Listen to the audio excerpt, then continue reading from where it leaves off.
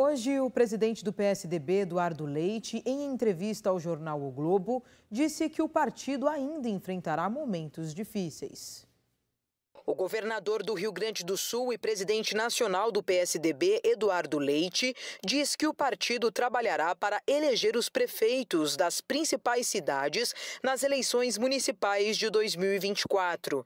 Apesar de manter o otimismo, o tucano admite a possibilidade de perder mais quadros na legenda. Segundo ele, a meta é reconectar a sigla com o eleitor e adiantou aos filiados que a agremiação pode enfrentar mais momentos difíceis. Sobre o plano de uma federação entre o PSDB, MDB e Cidadania, que voltou a ser discutido com mais intensidade recentemente, Leite diz que, no momento, se trata de uma conversa muito inicial. O Tucano também declara que deve consultar o Tribunal Superior Eleitoral para checar se é possível agregar um partido à federação já existente entre PSDB e Cidadania. A meta é não sofrer nas eleições de 2024 com a polarização no Brasil. Leite ainda afirmou que o PSDB continua na oposição ao governo de Luiz Inácio Lula da Silva, apesar de defender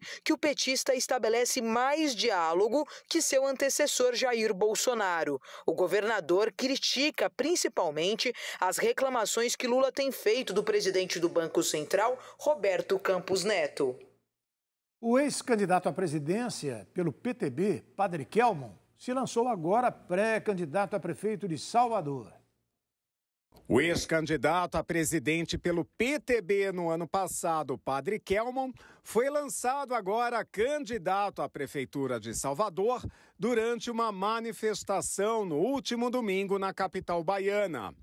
Ele organizou uma manifestação contra o PL das fake news que chamou de uma tentativa de censurar as redes sociais. Pouco mais de uma dezena de apoiadores compareceram. Kelmon ficou conhecido na eleição após substituir o ex-deputado Roberto Jefferson como candidato ao Planalto. Ele virou meme em razão de suas participações em debates, aos quais comparecia paramentado com vestimenta religiosa. O PTBista teve apenas 0,07% dos votos. O diretor-geral da Agência Nacional de Energia Elétrica defende a revisão da política tarifária. Para ele, a medida depende de um esforço do Congresso Nacional. Em audiência no Senado nesta terça-feira, o diretor-geral da ANEEL, Agência Nacional de Energia Elétrica, Sandoval Feitosa, defendeu a revisão da política tarifária pelo Congresso e governo para redução da conta de luz. Segundo ele, a agência depende de diretrizes do Congresso Nacional para reduzir a tarifa de energia.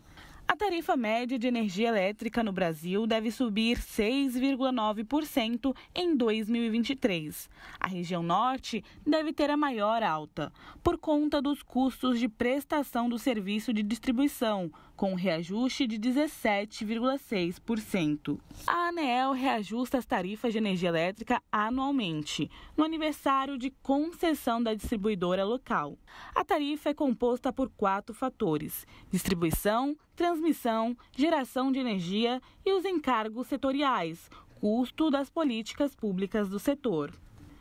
Segundo o diretor-geral da ANEEL, os encargos setoriais cresceram acima do Índice Nacional de Preços ao Consumidor Amplo e do Índice Geral de Preços, desde 2015. O plenário do Senado voltou a discutir sobre os mecanismos que serão usados para avaliar e revisar os incentivos fiscais concedidos a empresas pela União.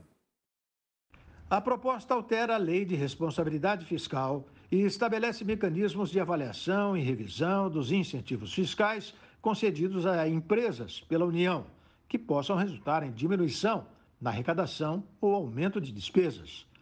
De acordo com o parlamento, se a União abrir mão de uma arrecadação de bilhões de reais por ano, fica sem saber o que a sociedade ganha no quesito de aumento de postos de trabalho, por exemplo. A União abre mão de 420 bilhões por ano. Os estados, talvez 80, talvez 100 bilhões por ano.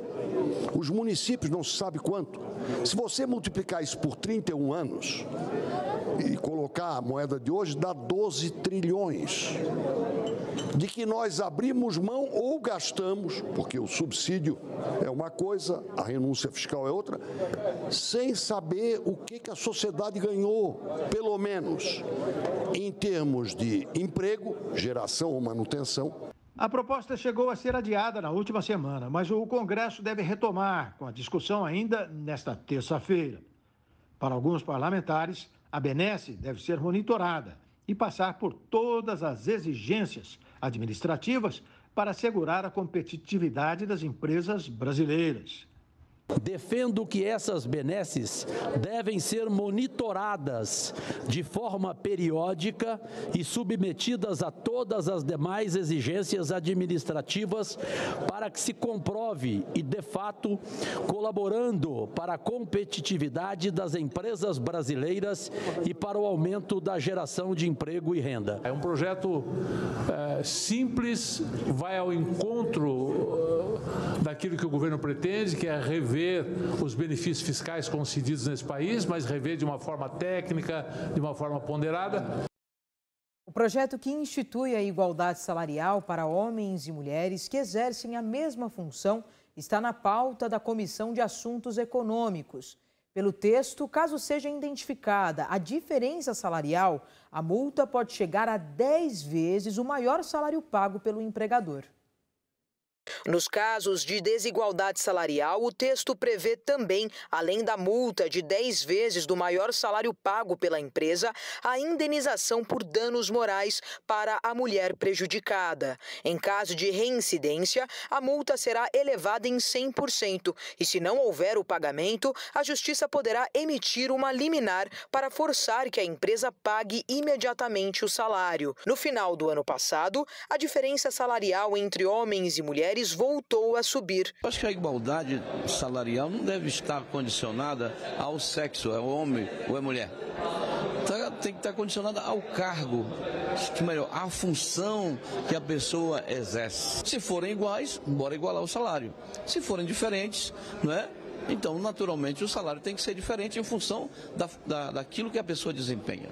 Dados do IBGE registram uma porcentagem de 20% menos em relação ao salário das mulheres, comparado aos homens, ocupando a mesma função e com perfis igual de escolaridade. A diferença ainda é mais elevada em cargos de maior rendimento, como de diretores e gerentes. O direito à igualdade salarial entre homens e mulheres já é garantido pela Constituição, mas mesmo assim a lei não é cumprida. Então, o governo enviou um projeto de lei já aprovado na Câmara dos Deputados que aumenta o rigor contra a discriminação salarial. A proposta tramita em regime de urgência em três comissões do Senado e aguarda o relatório para votação na Comissão de Assuntos Econômicos. Em instantes, o novo aumento da gasolina Novo modelo de cobrança do ICMS vai fazer o motorista pagar bem mais caro pelo combustível. E falsa carteirada. Psicóloga que se passa por desembargadora ameaça e agride funcionários de restaurante no Rio de Janeiro.